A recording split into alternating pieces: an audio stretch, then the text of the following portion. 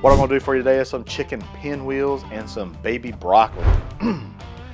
so first things first, do this to all your chicken pieces. Now it's time to pound these thin. Put it in a gallon baggie. Just do that with every piece of chicken that you have. Get you a tablespoon of butter, add an eight ounce bag of spinach, add a little bit of salt and some cracked pepper. One to two cloves of garlic, splash it with a little bit of red wine vinegar. I got half a block of cream cheese, Parmesan. Stir that well. Now it's time to fill this chicken and then we roll it. And then some Mike Lawry's. Now put about a quarter cup of that mixture. Now just roll it up. We're gonna cut these. All right, y'all, we're gonna get to cooking now. We're just gonna come in here. This is baby broccoli. I'm just gonna come in here. A little salt, a little pepper. We're just gonna steam that broccoli and they're done.